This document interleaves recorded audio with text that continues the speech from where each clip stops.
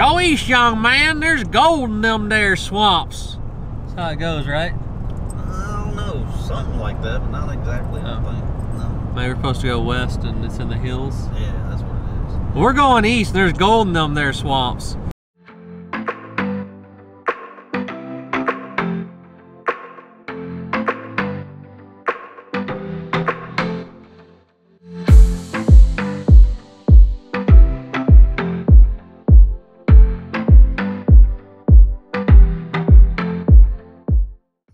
It's cold and it's wet and it's windy in Texas and it's following us over here. But we're on our way to Louisiana. We're gonna go do a little bit of red fishing. This is Daniel.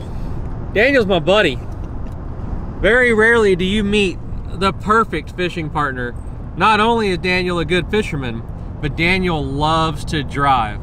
I hate to drive. He made me drive one time and I've made a point to complain about it for three months and I'm kind of hoping he's learned his lesson and, and uh, corrected his ways. So we're headed to Louisiana and go chase some redfish. We're going to an area that, that I've never been before, but we're gonna go give it a shot, figure it out. Welcome to the channel. Glad you're here and uh, see what happens.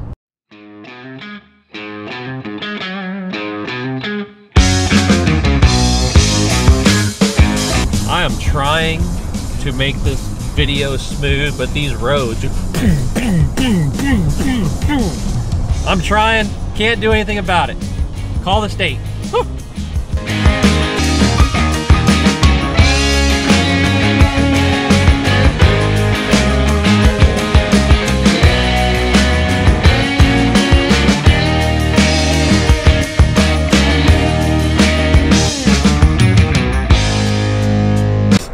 If a boat ever wanted to call a manager, it's the Karen Susan.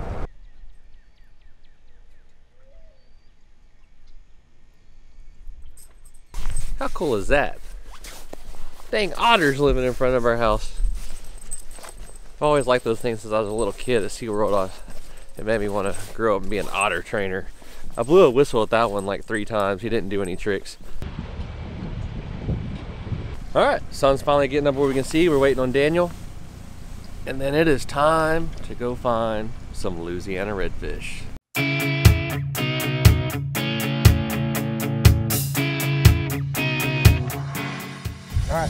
On. Let's go. Come on, man, get of that grass. He wants it. He wants it. It. Oh, our shadow. Probably.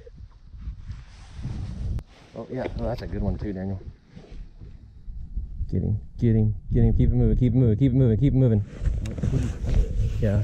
Yeah. Ah. The goal is about that far in front of them.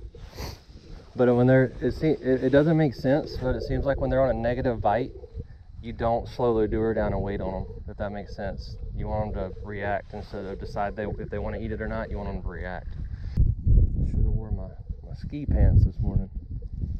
I was feeling a little bit cocky. Yep, yep.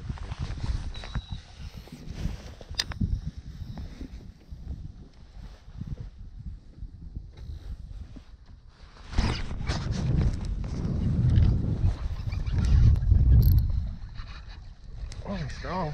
Not big, but strong.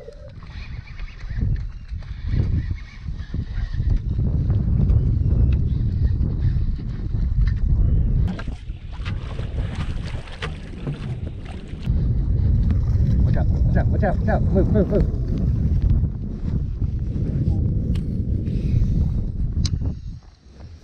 All right, first one of the morning. We're using a uh, a belly weighted weedless hook on a white uh, creature bait. This one had his nose stuck down in the grass, so I just drug it right on top of his head, gave it a couple of twitches to make it move some water, and uh, he felt that water moving and just reached up and grabbed it. So here on our boat, we pretty much turn loose of everything, including Louisiana redfish. Off he goes.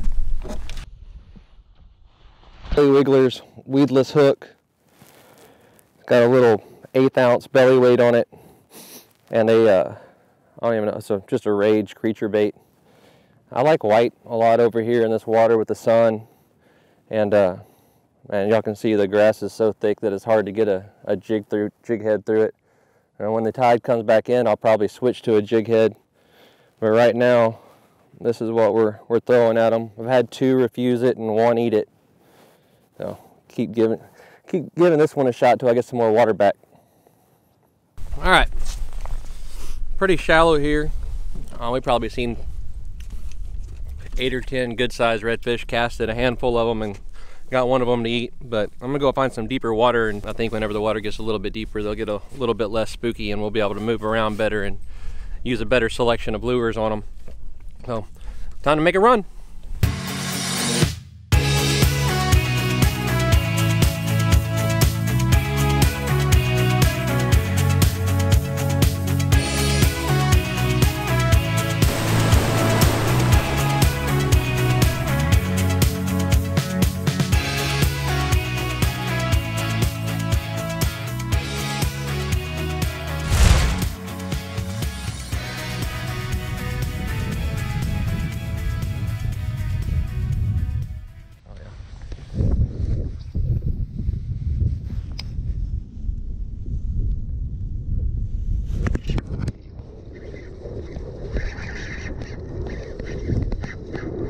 How you do it, my boy.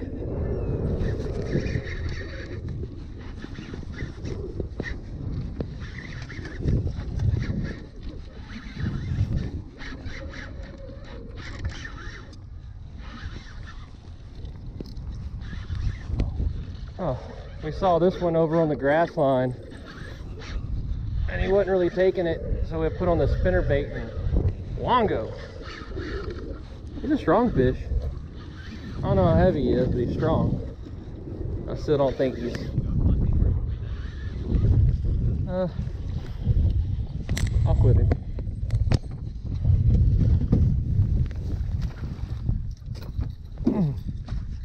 That's a that's a better one.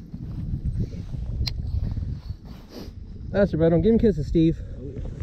We saw this one cruising the bank a pretty good ways away threw some plastics at him he didn't want and he spooked out the middle and then I put a I grabbed up a spinner bait real quick and he ate it right away.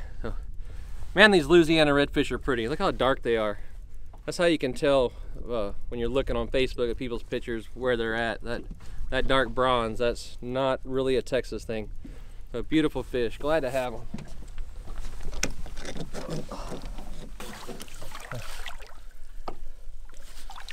all right buddy. Oh, boom! Those make me happy. They make you happy, Daniel? Absolutely. They make me happy.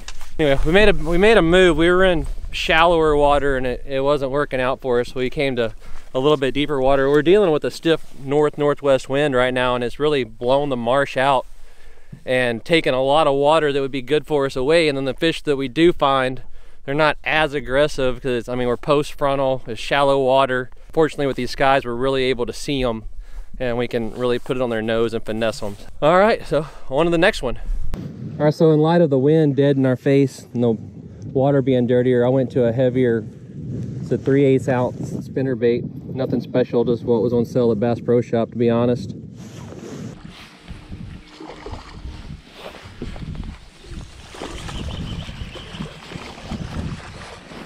What you think about it, D? Oh yeah. A little redfish, Louisiana style.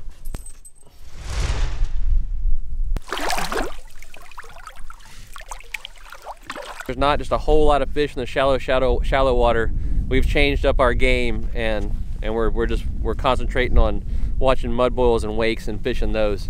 So instead of actually trying to sight cast the fish themselves, we got in this deeper ditch. You can see that the the water's out a solid two feet.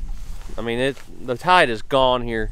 So we've elected to instead of try to see the fish, we've gotten a little bit deeper water, and we've been pushing wakes, and we're we're seeing the wakes. We're just dropping a lure in front of them. I think we've casted about three so far, and Daniel just hooked up with that one. That one was right at or maybe a little bit over 27, and uh, what I say, seven and a half, eight pounds. Yeah. Seven and a half, eight pound fish. It's a good fish, pretty fish, a lot of spots. Yeah, a feeling I'm not too far from coming out of this jacket too. Like I'm not. Oh. Ooh. There he is. Not the biggest fish we've caught all day, but Not a little baby either.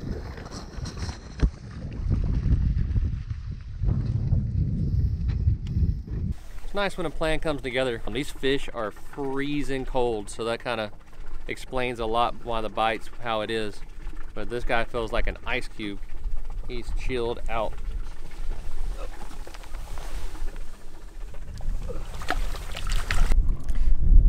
Oh yeah. Now, now we're red fishing. Yes, sir.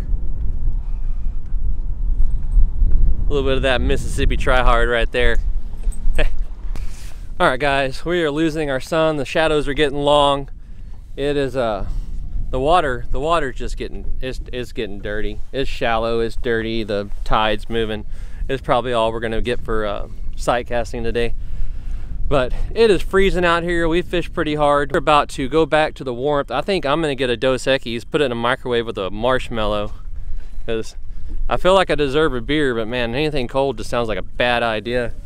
Oh, Steve over here, this guy, he's lost all desire to do anything. I mean, look at this poor guy. Look at this. How pathetic is that?